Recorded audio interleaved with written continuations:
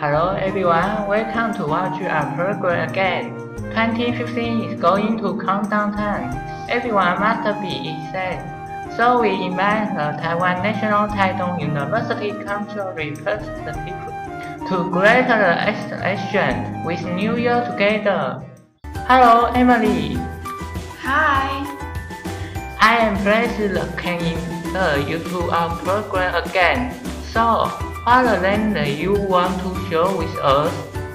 Mm, what about to talk about the way to celebrate the New Year in different countries? That something great.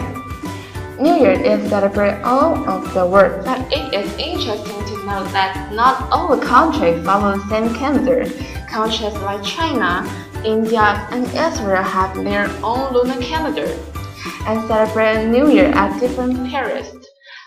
The Chinese New Year is in late January or early February.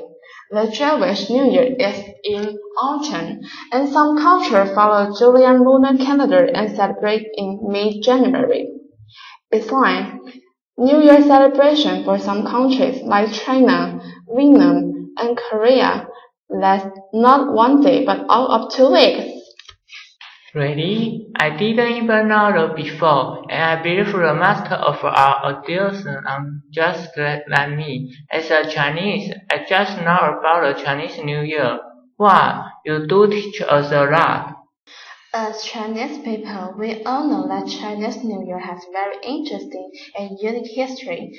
According to the Chinese legend, there are giant beast Nian who used to swallow humans in a single bite.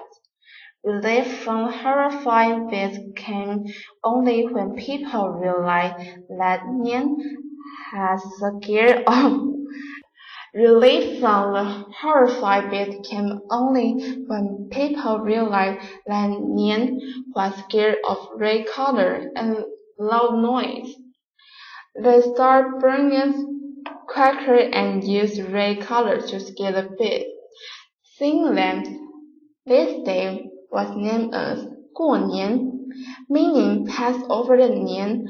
Besides, it is also customary to dress in red and to give children lucky money in red envelopes. Yes, when I was a child, I really enjoyed it, and I often had money to buy candies or toys.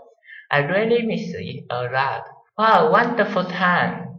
Yes, and I'm also going to tell you something interesting custom and culture in different country. If you have been bitten by the travel bug, Cubans recommend that you circle your house with a suitcase when the clock struck at midnight. It's meant to bring your traveling opportunities in the new year.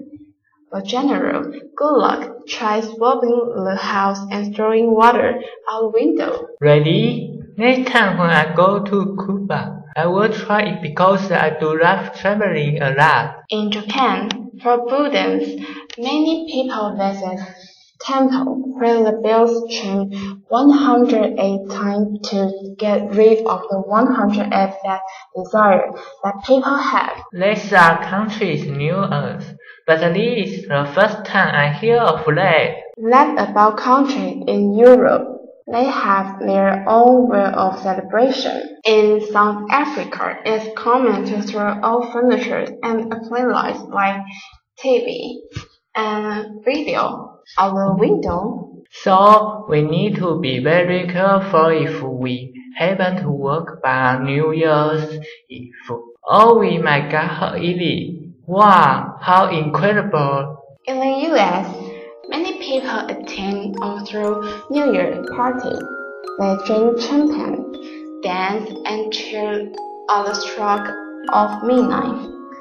Men kiss women who happen to stand by them. Firework, which in older times scared away evil, and very popular in the U.S. as they are throughout much of the world.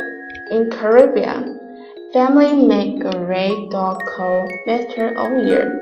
They dressing in old clothing and stopping with things that family didn't want anyone.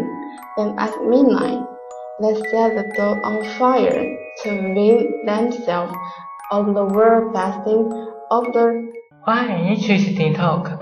Different countries follow different traditions and comes on on the New Year and celebrate the New Year in their own words.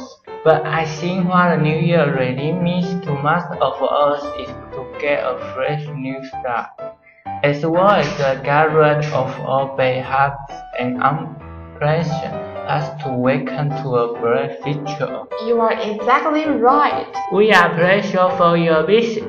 See you next time. Bye bye.